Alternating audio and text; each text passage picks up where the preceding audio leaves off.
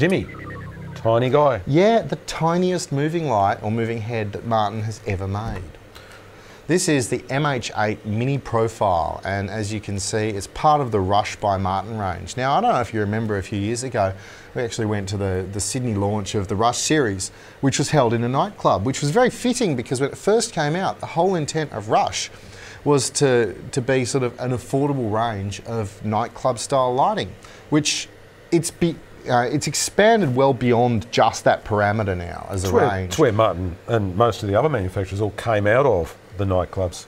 Well, yeah, but I mean, I think this this is interesting because this is very much back to that grassroots affordable nightclub lighting. you know. it's Uh, manual focus, manual focus, what's- 18 watt LED engine. and that's a white LED source. So color is via uh, eight position color wheel. We've Yep. got eight position fixed gobo wheels, so you can't rotate the gobos or anything. You can rotate both of those wheels.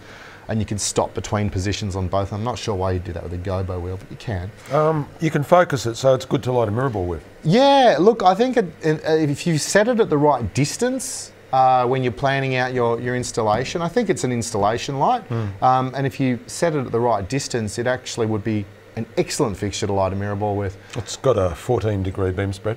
Yeah, not super wide, but I think uh, right for that sort of three to four metre high ceiling, which is not not atypical in um, a sort of moderate sized club, I guess. Well, that's it, yeah. Um, yeah, and look, I, I think the other thing that worth, is worth mentioning is that at four and a half kilos, it's um, it's very rigging friendly, and at 60 watts power consumption, 60, no, 50 watts power 50 watts consumption. in, 18 watts out. Yeah, you can you can run sort of 20 of these off a 10 amp circuit. Oh, so if you yeah. need if you're looking for an easy way to retrofit your venue and you've got mm. limited power availability, limited rigging choices, this is a really good option.